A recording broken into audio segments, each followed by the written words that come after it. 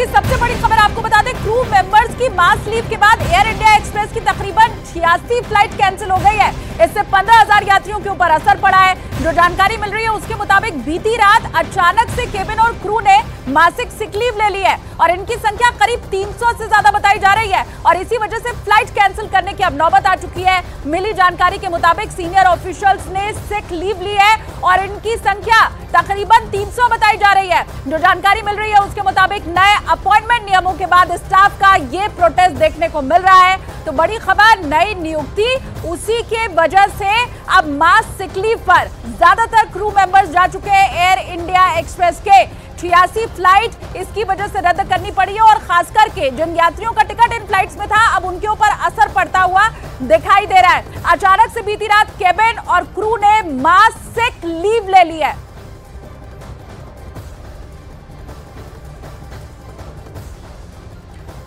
और चलिए सीधा रुख कर लेते हैं दिल्ली एयरपोर्ट पर। न्यूज़ 18 इंडिया की प्रियंका इस वक्त मौजूद है मुंबई एयरपोर्ट पर। न्यूज़ 18 इंडिया के विवेक गुप्ता को आप इस वक्त देख पा रहे हैं। सबसे पहले दिल्ली का हम रुख करेंगे। अच्छा मुंबई का पहले हम रुख करते हैं। वहाँ पर भी शायद खासी तादाद में जो यात्री है, वो परेशान इस वक्त हो रहे हैं। विवेक, क्या अपडेट है?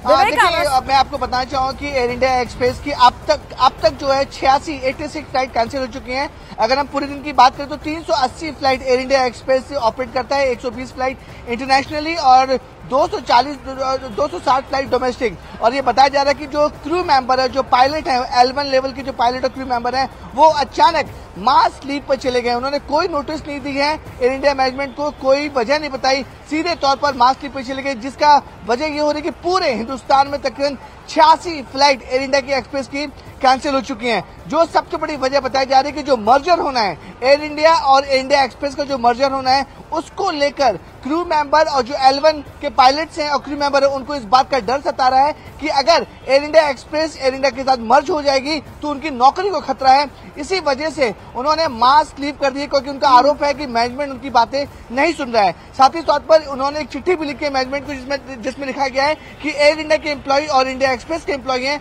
उन्हें भेदभाव किया जा रहा है उन्हें इक्वलिटी में नहीं दी जा रहा है। इस समय न्यूज़ एटीन इंडिया की टीम मुंबई इंटरनेशनल एयरपोर्ट में खड़ी है जहाँ पर एयर इंडिया और एयर इंडिया एक्सप्रेस यहाँ से ऑपरेट करती है। देखिए पूरा का पूरा काउंटर जो है वो खाली पड़ा हुआ है। कोई भी पैसेंजर यहाँ पे नहीं है क्योंकि उनको पता है कि सारी फ़्लाइट कैंसिल हो चुकी हैं। हाँ। सबसे ज़्यादा जो अफेक्ट हुआ दिल्ली एयरपोर्ट हुआ है उसके बाद मुंबई एयरपोर्ट पे हुआ है। कुछ पैसेंजर हमारे साथ उनसे बात करते हैं। सर ये आपकी फ़्लाइट क्या हुआ? एयर इंडिया से जा रहे थे आप?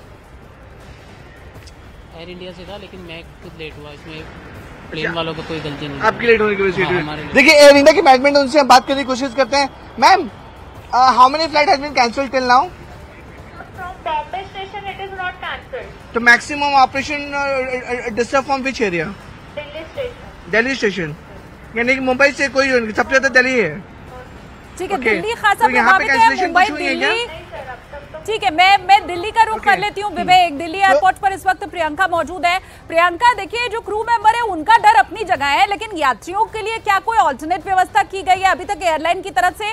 या फिर क्या कोई स्पष्टीकरण उनकी तरफ़ से आया हो प्रियंका?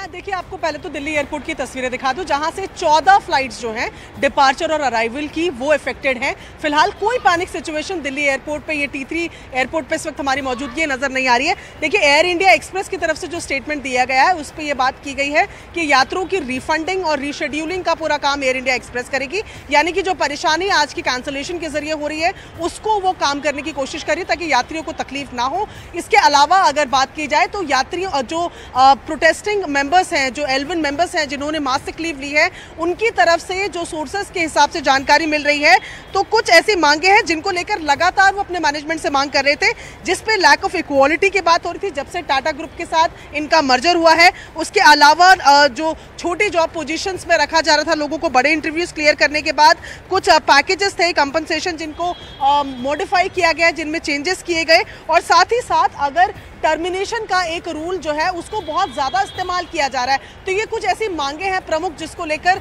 26 तारीख को भी एयर इंडिया एक्सप्रेस यूनियन ने मैनेजमेंट को एक लेटर लिखा था। हाँ। वहाँ पर कोई एक्शन ना होने के बाद कल ये एक्शन लिया गया है।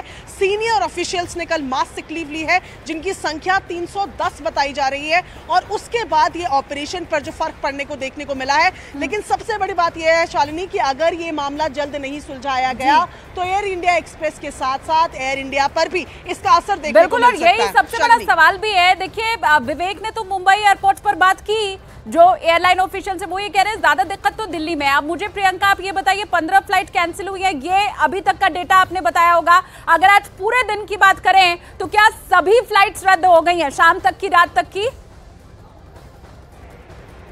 नहीं नहीं, मैं आपको सीधी तस्वीरें शालिनी, देखिए पैनिक क्रिएट करना न्यूज़ एटीन इंडिया का मोटिव नहीं है। मैं यहाँ पर आपको दिखाऊँ कि एयर इंडिया एक्सप्रेस की कई ऐसी फ्लाइट्स हैं जो बिल्कुल नॉर्मल टाइमिंग पे चल रही हैं। फ़िलहाल भी अंदर उनका चेक इन हो रहा है। केवल चौदह फ्लाइट्स ऐसी हैं जिनका डिपार्चर जिनका अराइवल जो दिल्ली एयरपोर्ट पर था, वो इफेक्टेड है। अभी तक ये कैंसल्ड हुई हैं, केवल चौदह फ़्लाइट और अभी आप देख रहे हैं एयर इंडिया एक्सप्रेस की जितनी फ़्लाइट ये लाल रंग के लोगों में आपको जो नज़र आ रही है, वो तमाम फ़्लाइट यहाँ से चल रही हैं। तो जो पूरा ऑपरेशन 480 फ्लाइट्स का per day air India express करती है। उसमें से 86 फ़्लाइट ऑपरेशन जो है वो इफेक्टेड हुए हैं कैंसिल हुए हैं जिसमें से 14 दिल्ली एयरपोर्ट पे हैं जिसमें से केवल एक इंटरनेशनल एयरपोर्ट पर है। तो ऐसे में बहुत ज़्यादा मैं जैसे लगातार आपको बोल रही हूँ पैनिक सिचुएशन नज़र नहीं आ रही है और वहीं एयर इंडिया एक्सप्रेस भी ये कह रही है कि लगातार इन लोगों से बातचीत करने का सिलसिला जारी है ताकि जल्द से जल्द ऑपरेशन को नॉर्मलाइज किया जा सके हाँ। और जो लोग सफ़र कर रहे हैं जो यात्री हैं उनकी परेशानी और ज़्यादा ना बढ़े। ठीक है तो पूरी कोशिश है एयर इंडिया की एयर इंडिया एक्सप्रेस की, कि पैनिक सिचुएशन भी ना क्रिएट हो। और ये जो मुसीबत आई है, जल्द से जल्द इसका समाधान भी कोई ना कोई ढूंढा जाए। जैसा प्रियंका ने भी आपको बताया कि बहुत सी ऐसी फ्लाइट्स हैं, जो ऑपरेशनल हैं, सारी फ्लाइट्स कैंसिल नहीं हुई हैं। और ऐसी स्थिति में जो भी एयर इंडिया एक्सप्रेस या एयर इंडिया के यात्री हैं, उनसे हमारा भी अनुरोध है कि आप एक बार पहले चेक कर लें, सारी फ्लाइट्स कैंसिल नहीं हुई है। और खास करके क्रू मेंबर के साथ पूरी कोशिश है एयर इंडिया एक्सप्रेस की बातचीत करके इस समस्या का समाधान निकाला जाए।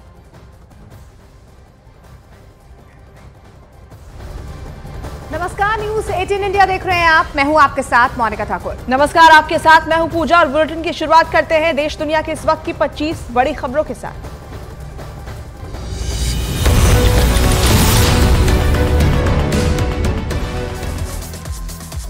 एक्सप्रेस की 70 से ज़्यादा फ़्लाइट रद्द। एयरलाइन के सीनियर क्रू मेंबर्स ने सामूहिक रूप से बीमार बताकर ली छुट्टी। सलमान खान फायरिंग मामले में अब तक की सबसे बड़ी गिरफ्तारी। अनमोल बिश्नोई और रोहित गोदारा का राइट हैंड। रफीक चौधरी गिरफ़्तार। आरोपी रफीक चौधरी को अनमोल बिश्नोई और रोहित गोदारा ने सलमान खान की हत्या की ज़िम्मेदारी दी थी। मुंबई क्राइम ब्रांच सूत्रों के हवाले से खबर। अजमेर के अढ़ाई दिन के झोपड़े पर पहुँचे जैन महाराज सुनील सागर। जैन स्थल होने का किया दावा, कहा, हमारी सांस्कृतिक धरोहर जीवित रहनी चाहिए। मध्य प्रदेश के बैतूल में ईवीएम और चुनाव कर्मियों को लेकर जा रही बस में लगी आग। कर्मचारियों ने ईवीएम मशीन सहित बस से कूदकर बचाई अपनी जान। महाराष्ट्र के यवतमाल में कई वाहनों में की गई तोड़फोड़। सामने आए सीसीटीवी वीडियो में गाड़ियों में तोड़फोड़ करते दिखे छह लोग। पुलिस तलाश में जुटी। मथुरा की दो अवैध कॉलोनियों पर चला प्रशासन का बुलडोजर। बरसाना और नंदगांव में हो रहे अवैध निर्माण को गिराया गया। सूरत में गिरफ़्तार मौलवी सोहेल से जाँच एजेंसियों को मिली कई अहम जानकारियाँ।